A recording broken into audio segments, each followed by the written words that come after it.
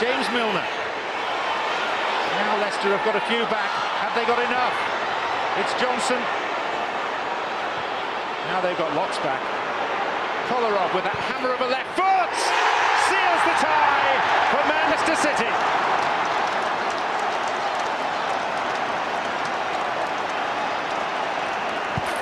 All the doubts removed in one meaty swing of a Serbian's left boot.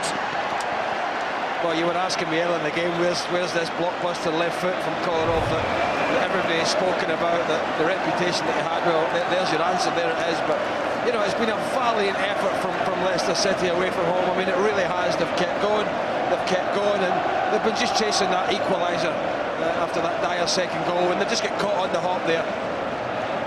And City getting plenty of bodies forward, and Leicester thought they'd funneled enough players back, but he just found that five yards of space, Kolarov, just enough to wind up that left boot. It was a lovely finish.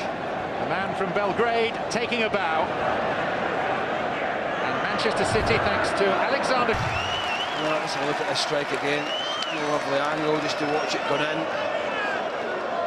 I would say he's had cleaner strikes, but he's guided it. He's guided it lovely. And I, and I honestly believe, John, there's been lots for Leicester City out of the. Looking like they could be a bit difficult.